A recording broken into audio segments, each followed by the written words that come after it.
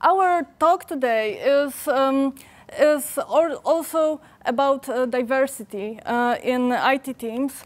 And at the beginning, we just would like you to remind what is so important to talk about diversity today, because it's not always a buzzword. It's uh, giving certain improvement to all the teams in all the areas, starting from the top management down to the bottom of the very essence of IT teams. It improves performance, it improves creativity, and many other areas. And uh, starting from this point, we wanted to talk about two different aspects of diversity in our everyday work. And I, as a developer who is also an IT convert with a non-technical background, I would like to speak about new sources of IT employees based on my example, my journey, and the journey of my friends who also decided to move to this industry, and the benefits of competence diversity. And Pavel? Uh, and guys, I'm going to cover another part of the, what we call new influence is uh, actually openness to work in international teams, international projects. Um, I'm not going to speak about um, benefits of the diversion itself. Uh, I believe, you know, since you're here, you most of you believe in this, but I would like to cover uh, more about my experience, our experience in uh, working in international teams, the kind of problems we had, uh, how we were fixing this, and uh, basically how to we, you can, you know, build inclusion to take advantage of the diversity. And please note, uh, we are not uh, researchers, we are not coaches. These are our personal stories based on, uh, on our uh, experience. Um, we do not uh, convey any confidential information here, and all the names are fic fictional uh, that will appear along the way, except for ours. But we think that this might inspire you in, in your everyday work and maybe um, will somehow open your eyes to new ideas and some things you have never thought about. So maybe let's start with, with the first part, the so-called by me new wave of developers uh, that is entering the job market or has been entering the job market for the past, I'd say, four, uh, four years. And uh, how do we define those people? How do we work with them? So let's take a look at the Polish job market. I probably you all know this research that states that 50,000 developers are needed right now on the Polish uh, job market, and the increase in uh, demand for uh, uh software developers is going to rise. And um, this is this sounds uh, really positive, but you need to find those people from somewhere. And um, generally, the graduates of the universities live in the number of about 13,000 each year. Uh, these are just technical, uh, technical uh, specializations. However, you need to remember that not all of those people want to work in IT or have relevant uh, experience that would, like, that would allow them to start commercial work right away. Sometimes they need some introduction. And, um, well, this is this is just just a number. On the other hand, you have the 6,000 so far uh, bootcamp graduates that are already on the market. The difference between those two groups is that those bootcamp uh, graduates uh, were uh, strictly focused to work as um, IT professionals, usually software developers. So they already have uh, the target they are they are uh, facing, and they they have trained. Um, specifically to provide some uh, practical knowledge that will uh, be applied in commercial projects. So these are the two groups that are feeding uh, the needs I mentioned earlier. And I'm an IT convert myself. Uh, I wanted to share the story because you can see from this uh, that probably uh, nothing's impossible. I studied archaeology, but then decided to move into something that would give me a better, I'd say, um, well, influence and would uh, actually uh, allow me to practice my hobby, which was new technologies. Uh, and after eight years in this industry and um, uh, reaching the position of senior manager, I actually decided that maybe it would be good to create something instead of just telling stories about products of other people. And then when, when the boom of uh, bootcamp schools uh, came up, and I actually applied for, uh, to one of them and finished the uh, front-end uh, bootcamp, then decided to move further with postgraduate studies, and right now I'm also a Java developer. Uh, but, well, this is one of the many stories. I have many friends, and actually the story of one of them influenced uh, my decision uh, very strongly. And that also can share such stories. Um, my friend, who's a philosophy graduate, also works today as a, um, a developer, and it was her story that showed me that maybe I do not need to follow the career path uh, that uh, was quite obvious at me at that point that I can change something. And I must say that my story already influenced, I think, uh, six to eight people whom I know directly and who approached me and asked me how, how I did it. Uh, and uh, one more thing that's important about this group is half of them are women. You will not meet such a rate of women among uh, university graduates in technical fields, but among bootcamp uh, graduates, it's quite common that this group is extremely diverse in terms of gender, uh, age, and um, background they're coming from. And when you enter this market, you're full of emotions, and usually you want them to be the positive ones. Because with, with, uh, when you decide to, to make a step back, to start a new career, you will be full with, of, with ambition, willingness to learn, and openness to new technologies, new people that you meet. And, but you need to remember that if you're left alone or, um, uh, comes the, or there comes a routine, uh, you will be facing disappointment, the already mentioned by Art imposter syndrome. So you need to tackle those things and you cannot tackle them alone. So to drive the positive attitude among such people, uh, when you're their manager, you need to remember about a few things that will pay off not only in terms of working with IT converts, but working in, a, um, in, a, in every team as well. So honest feedback that comes often on a regular level. If you give feedback uh, three months after hiring someone, it's too late because those people do not know if they're going, if they're doing their job good or right. You need to have some mentorship when you're entering a, a commercial market uh, even if you have, if you think you have some practical knowledge, it's always uh, have, good to have someone who will guide you. Diversified tasks, this is quite obvious. Uh, you, you will get tired do, doing bug fixing of the same, uh, uh, same type of bugs all the time. So you need to have some area for development and ability to grow, ability to see uh, beyond your current position in the uh, in the company. And also what's uh, important with working in, with IT converts is a chance to use, give those people a chance to use previous experience to somehow uh, better, better everyday work and improve performance of the team. And what you will, uh, what you can expect in return. First of all, look beyond their current technical skills, because after bootcamp, they, ca they can be quite limited. But uh, you need, if you look beyond that, this will really pay off because usually those people have really high level of communication skills. Some of them have experience, like myself, uh, working in communication industry or marketing industry. Some will have a direct exposure to customer uh, relations, which will also pay off when talking to your customers or the business owners or product owners on a daily basis. Uh, some will have business understanding of the field you're working for, for example, financial industry. This is also very valuable.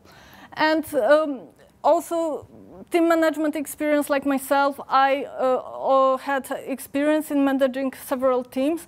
And right now, although I'm not the most senior in development, of course, uh, in, um, in our team, I, I was given a, uh, the pleasure to lead a small team and deliver a product with developers much more senior than myself in technical areas. So just give those people a chance and use their creativity. And you will also, uh, you can also expect diversity in different areas that are usually beyond reach when you just look at the, at the technical uh, field graduates. So you will have gender and age diversity. Age is also quite valuable. I decided to convert at the age of 32. So for a long uh, part of my new job experience, I was the oldest in the team. And it was never a problem, but it helped uh, me, my, myself and the team to learn completely new things about work attitude and um, um, yeah, work-life balance. Uh, and you will also get people with different, different backgrounds, which also pays off in building bonds within a team because people will not always talk, will do not always want to talk about the newest trends in Java development or uh, front-end development. They also want to reach beyond that, and people with different backgrounds will facilitate this area. And, uh, well, uh, what's more, of course, motivation and willingness to learn, and moreover, willingness to share what they've learned. Because the, way, the best way to learn something is to practice uh, uh, your, your knowledge. And here I would like to share my example already mentioned about accessibility because I was actually uh, entrusted by my boss uh, with a accessibility project of um, making a really big online portal accessible uh, to people with uh, disabilities. And this is very specific knowledge. It may not sound very appealing, already mentioned in the morning uh, today, unless you understand what's, what, what is behind this, what are the needs of the users. And these are not only the needs of the users uh, with disabilities, but actually this affects every, every user of, um, of online product. And my boss actually uh, looked into, into the experience I gained and uh, he decided that, well, it would be good to share this, this knowledge with the whole team. And from this one idea, uh, a whole company-wide training came up, then boot camps, then also uh, conference talks. And uh, I met many developers, many UX designers, uh, graphics, who are totally unaware of the topic. And right now, they're also spreading this knowledge further. So you can see that from one simple idea and the motivation to, to like keep the knowledge in your head, such, uh, such uh, things uh, can come up. And I know many stories, um, and I can give many examples of IT converts who also have a similar uh, experience. And just uh, to summarize, um, what will come with IT converts, with juniors, is the competence diversity within the team. And it's good to remember um, that when you hire ten, a, a, team of 10 senior developers, they will not always be happy because there will be, their, their experience will, will not be uh, that much valuable because every, everyone will want to do the, the project by his rules, by his experience, and that's why competence diversity will help to facilitate many, many of the processes, because it will give a chance to divide the team into mentors and mentees. The mentors will be able not only to practice their knowledge and to put into reality their ideas, but also to gain some communication training and some um, new form of appreciation from the team. And for mentees, of course, this will be a chance to boost their knowledge quickly and maybe use their motivation to come up with new ideas and pushing the team into exploring uh, new technical, uh, technical areas. Um, this is all for me for now. I would just like to mention that from my perspective um, and from my uh, past experience, working in an international team is something completely perfect because here's the balance between technical and uh, soft skills uh, that, uh, given my past experience, is just the best one. So I'm passing to Pavel. Thanks, Ola. Uh, so guys, again, my name is Pavel. Um, I'm running teams, uh, recently work uh, a lot with international teams. I'm performing in, in the organization, I'm performing the delivery manager or agile lead role, something like this. So I'm um, going to speak about my experience here. So as you know, it is pretty often very challenging to to do a software development project. You know, there are many, many, you know, many, many, many issues on every level. Even working as a local team for a for a customer which is, you know, in the same city, uh, there are still many problems. But uh, it is even it becomes even more challenging when it comes to, you know, when you can have people in the same room uh, when uh, you work with people who has different experience, who has different style, you, when you can see obvious cultural difference as well, right? But what I'm going to present and I want you to remember, this is, it is challenging, and but once you gain some experience, it's uh, basically mm, the same way you do when you work with any team, right? So it's not possible, it's not impossible, you need uh, you need to you know figure out a couple of things, and probably later it will be easy for everyone. Yeah, it's all about learning. Uh, so um, I will talk uh, a lot about uh, one of the project journey. So uh, I joined I joined certain project uh, around one and a half year ago. After I don't know after four months of development, something like this. And uh, this was a pretty great project. Uh, it was investment, but uh, not just from our company. It was a couple different companies' investment. Uh, so basically, we had uh, two, uh, two sponsors, two entities. And the team itself was spread out across the globe. So we had five countries. So we had UK, we had India, we had Poland, Belarus, uh, Estonia as well. So if you can imagine, so it's uh, not just working in five countries, but uh, working in uh, different locations, right? We had seven or eight different locations, but more important, there are different time zones as well, right? Uh, it wasn't so bad. It's not like US, nine hours of um, not overlapping at all.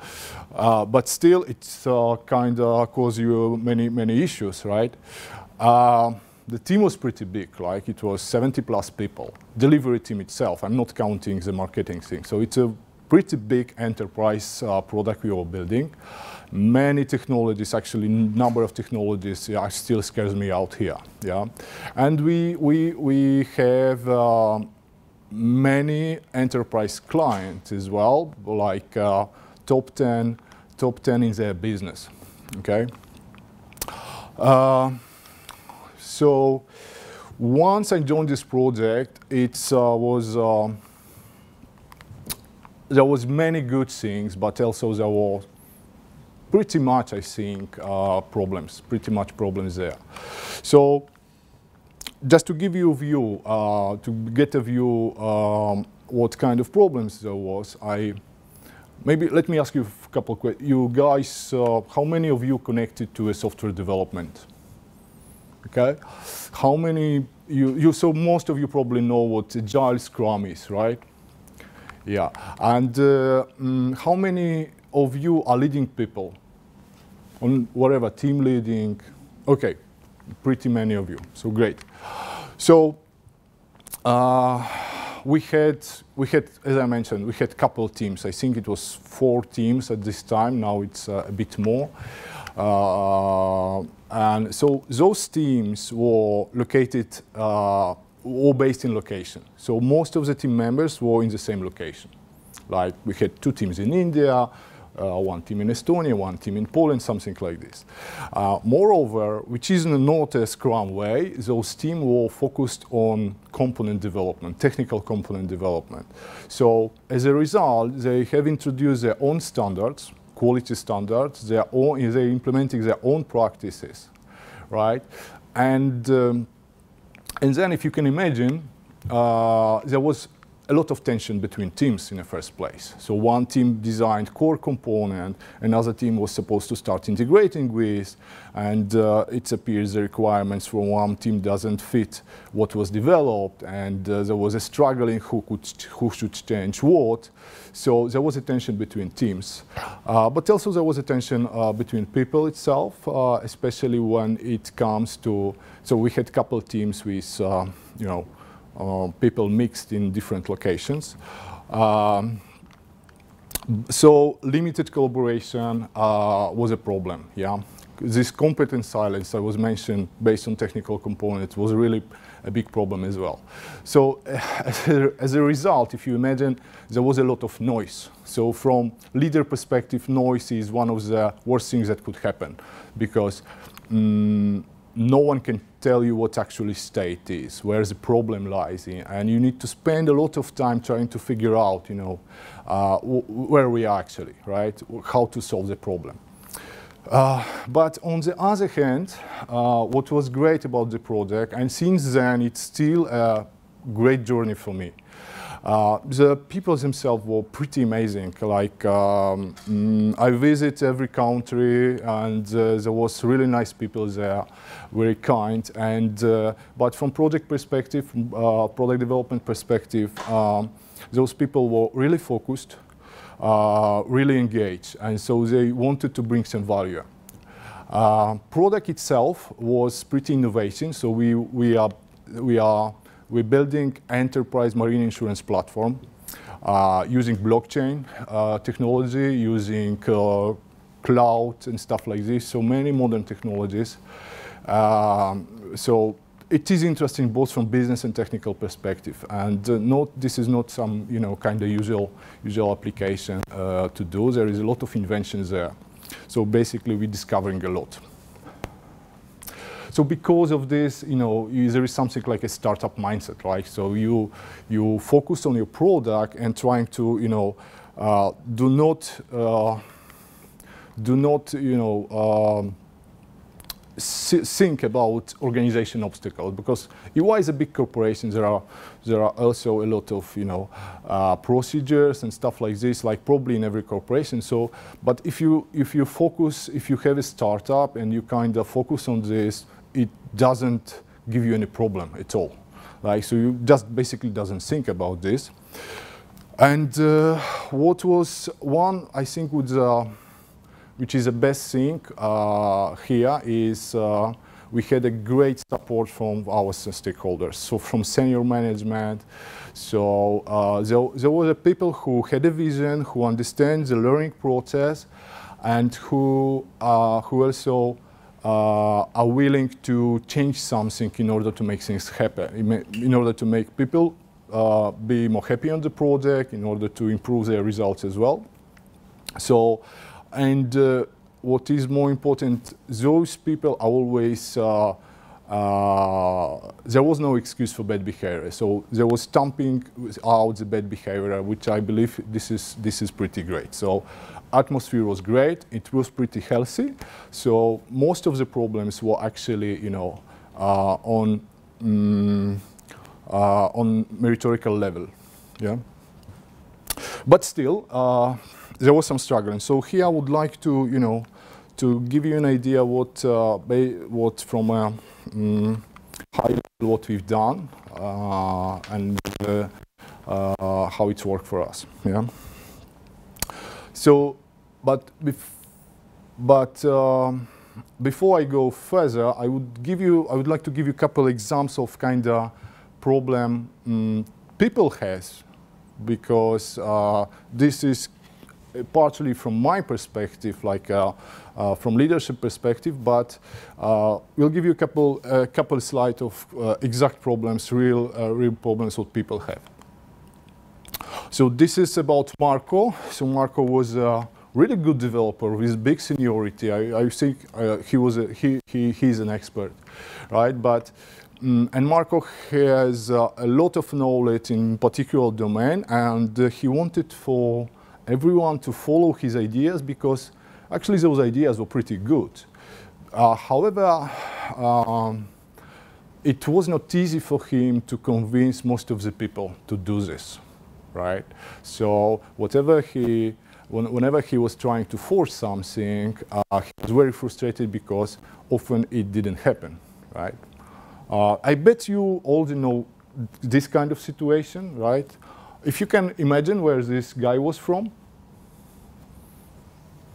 Poland? which country? It, he was from Poland, yes. Yes, he was from Poland. Uh, correct. Uh, so next example is about Anna. So Anna was a part of a Scrum team for a long time. Uh, and uh, for whatever reason, she moved to another team, which which followed Kanban, right? So, uh, uh, so this team was actually confident enough to, you know, so they limited even uh, even wherever ceremony. So they they used Slack to exchange his ideas, their ideas, or stuff like this. So basically, for a long time, there was no no call for her. There was no information. There was no feedback for for for for, for Anna about you know where we are in the project as a team, where we are we delivering our goal. Are am I doing a good job, right? So. Mm, and this was pretty frustrating for her, so she she started to lose lose motivation. Okay, and any idea where Anna from? Uh, Anna was from India. Yeah. Uh, actually, this is uh, uh okay. We'll talk about later. Uh, Olaf.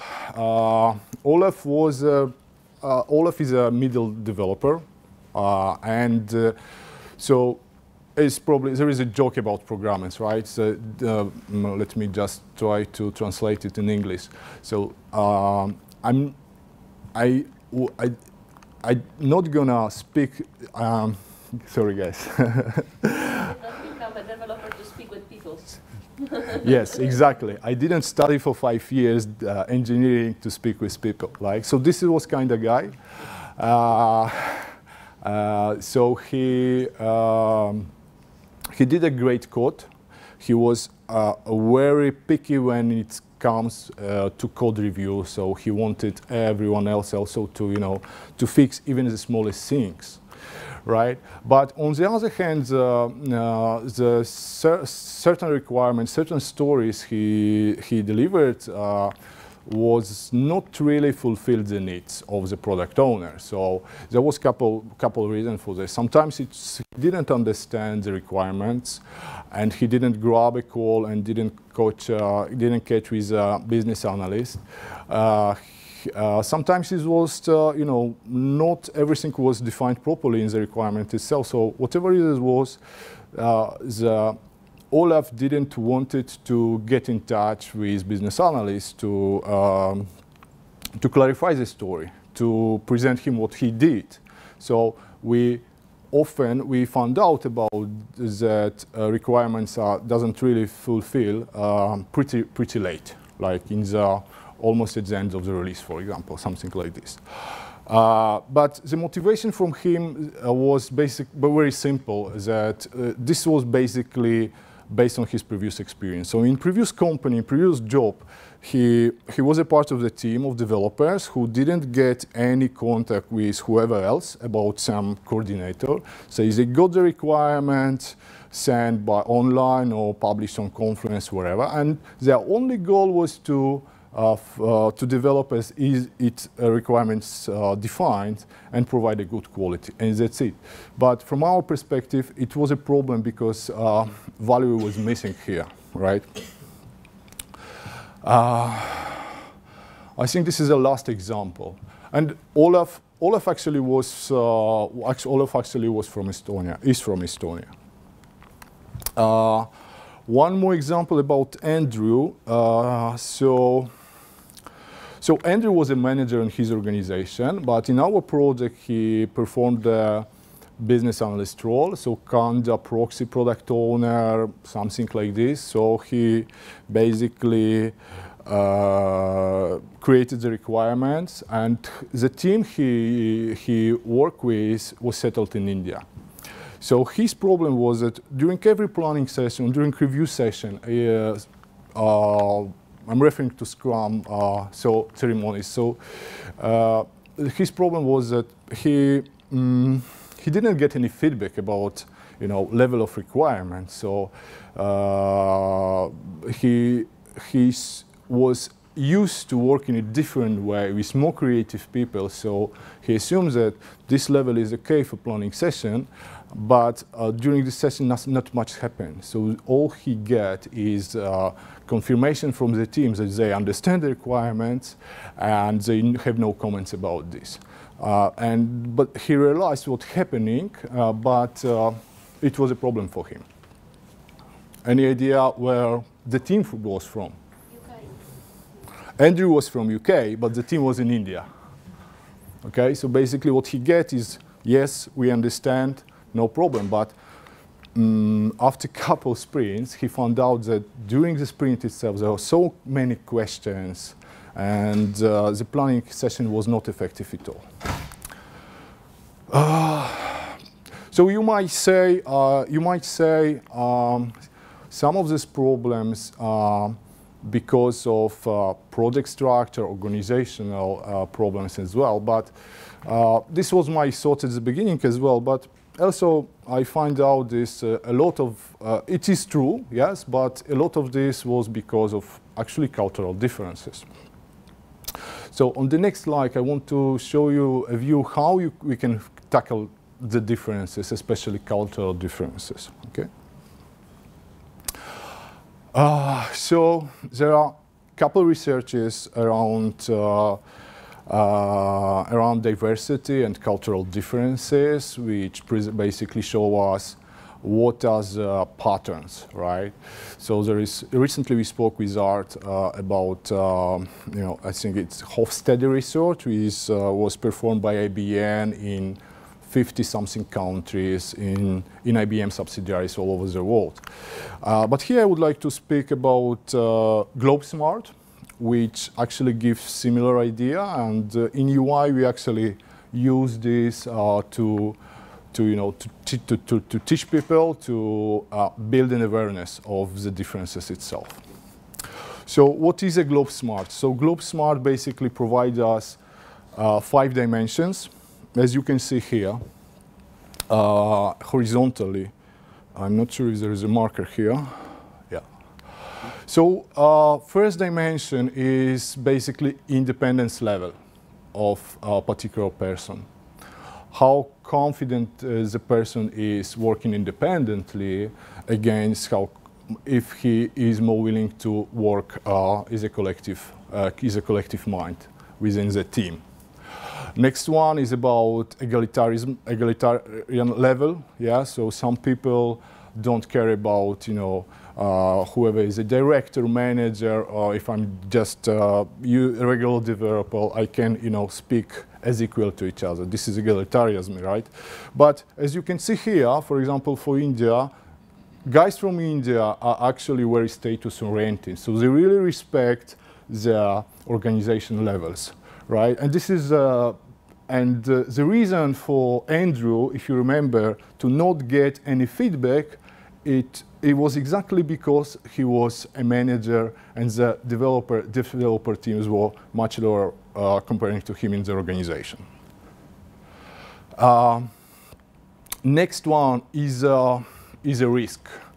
So as you can see, guys from United Kingdom are actually willing to take a lot of risk, right? But again, Poland is somewhere risk moderate, if you can say. So they, they want some lack of certainty, but they actually want to take some risk as well. Right? This is what it's all about. Direct being direct versus being indirect. So I, I think it's pretty obvious for whoever was working, you know, with UK or with India or with United States. For example, United States people are very, very direct. So if he's, or, or like Art mentioned, like Nordic people, if they think something, they will tell it straightforward. They will not going to, you know, put it in a beautiful words and trying to, you know, go around the bush, if you like, right? However, in some nations, you can you don't want to put someone in a bad position, especially in front of each of others. So you'd like to, you know, use a different style, different wording to say, I don't agree with you, right? Uh, but you will not say it directly. And the last dimension here is uh, uh, being task or relationship oriented. Like, for example, myself, I'm, uh, I'm, very, I'm one, almost 100% task oriented. So it means that I prioritize tasks over, over relationship. And uh, for me, I mean really goal-oriented, schedule-oriented, stuff like this, right? However, it doesn't mean that uh, I'm not aware uh, about relationship. It doesn't mean I uh, don't understand the power of relationship as well. So this is what we call, and I actually uh, embrace people in my team and uh, you know whoever in the project uh, to you know to build a relationship, to speak to each other about little things, about whatever. Uh, and this is what we call uh,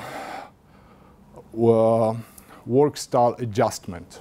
Like so, it doesn't mean whoever is uh, wherever people are in this graph, right? If they more task oriented, if they are direct or indirect, it doesn't mean bad thing, right? At all. The thing is, depends on the, uh, on the needs, depends on the auditory they speak to, they might adjust their work style a bit, just to make life easier. For example, as I'm, I'm pretty direct as well. And uh, I have, uh, my program manager uh, is, uh, is in UK and uh, he's, uh, he's Indian guy, yeah? So when, when I start working with him, is I, it was pretty hard for me to, you know, to read between lines, like because he, despite that he was uh, from UK, he was pretty, he was Indian, so he was pretty indirect. So uh, after, after we know each other better, I directly ask him, Sagar, so when we are uh, on this, we, we are just two of us in the room, just please talk directly to me. Yeah, and this works. It's easier for me now, but it means that he is able to adjust itself, right? So what I wanted to say here is, uh, those are actually countries we, we have or had in the project.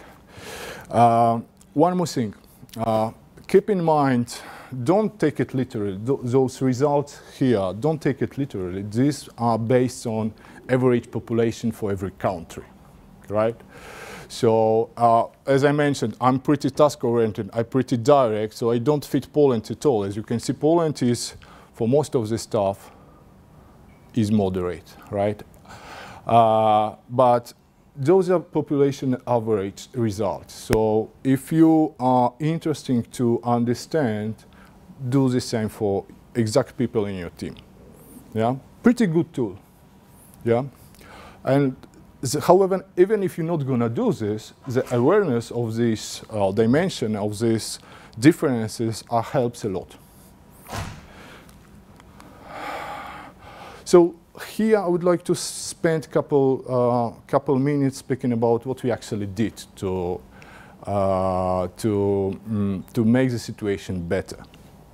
We actually, initially, we didn't thought about, you know, cultural difference and stuff like this. So we just focus on uh, make the product running st more straightforward, more in, uh, in some structure, trying to introduce real Scrum uh, and do the same for all the teams and stuff like this.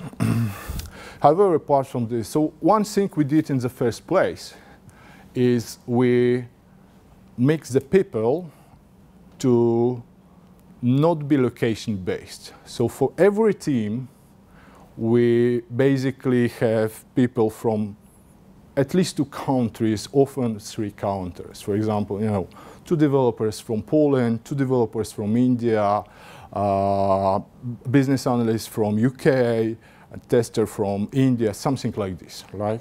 There was different combinations. The only thing we wanted to make sure is that being in the same location, we didn't want to have person within the team who is alone in the location and being a part of the team. Okay, so we had at least two people in the location who was a part of the team. And we started doing basically uh, better Scrum, uh, and this was one simple thing. However, uh, it was not enough. It was not enough because, uh, because of those differences. So from my perspective, we spent a bit more time on soft level, trying to coach people, listen to people, adapt to, you know, to their, based on their feedback.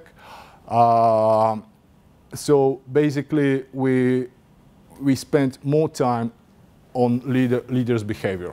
And that's it. Obviously, that's it. So if you can see here on outside, we have kind of tools, supportive tools, Scrum, Management 3, 3.0, uh, some soft skills trainings we've done as well, like uh, Globe Smart, uh, liberating structures. But also what it was more important, I believe, that we spent pretty much time uh, speaking about uh, soft stuff, like behavior, if you'd like to. Yeah. Okay. So I'm not sure if you have uh, some time. Yeah. So pretty pretty note, right? Uh, so I just go uh, go quickly through this. Uh, uh, those are kind of tips you can do. Uh, so very quickly. So do not let people speak to each other on Slack only, or on a call only. Yeah. So uh, let them speak each other about their personal stuff, engage them to con connect to each other at all. Because, you know, developers, as we heard the joke, do not have tendency to share stuff. So embrace them to do this, to, to speak to each other, to visit each other, and so on. One thing which actually we found out, these are traditions. So uh, I'm not sure how it started someone being in India, someone being in Poland, Estonia, I don't know, but uh, we are, one of our traditions is whoever is coming to another location, he, brings some sweets. And this is great, people appreciate this.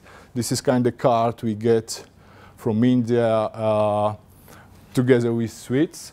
Uh, and uh, do integration party as well, right?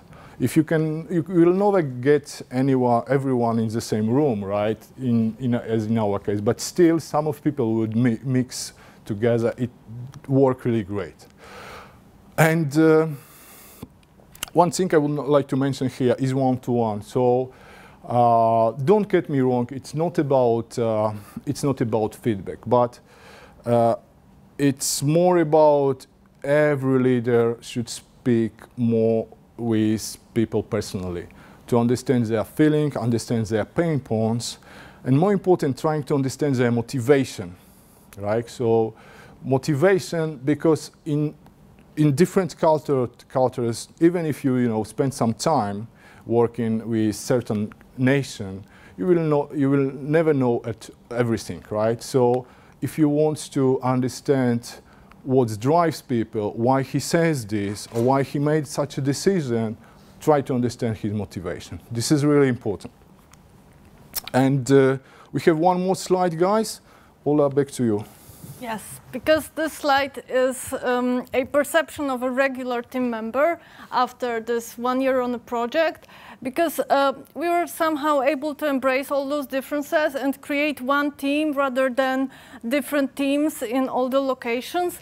And well, actually, when we try to think about how we're built, how we're constructed, we can define that um, everyone puts something into the team, into how we work together. For example, uh, small gestures, uh, ability to chit chat while on a daily call before we go, go to the tasks, uh, perfect attention to detail, to, to code, but at the same time making sure that we deliver um, business requirements.